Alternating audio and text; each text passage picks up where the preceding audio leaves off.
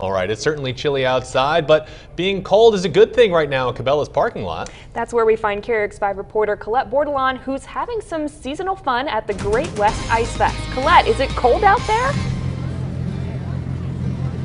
It's not actually that terribly cold. What is cold is this icy little snowman behind me. We have children taking pictures with it right now, so I didn't want to obstruct their photo session. But you guys got to come out to the Great West Ice Fest tonight. It's not over. There's going to be an ice carving competition starting around 6.15, and I'll be here live for that.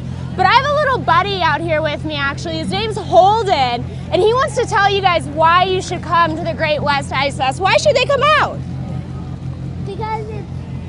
This is great